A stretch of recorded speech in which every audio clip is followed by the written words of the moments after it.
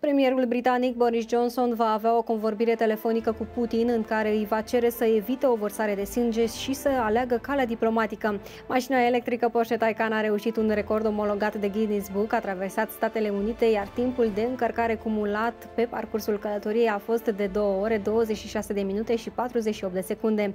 Iar Jason Momoa va apărea în al 10-lea film din seria Fast and Furious, asta după ce The Rock a refuzat oferta de a reveni. Iar Australian Open se încheie încheie mâine cu o finală de zile mari. Rafael Nadal îl întâlnește pe numărul 2 ATP Daniil Medvedev în ultima fază a competiției. Iar astăzi ne așteaptă un cod galben de viscol și vânt puternic în 21 de județe. Rafalele vor ajunge și la 100 de km pe oră.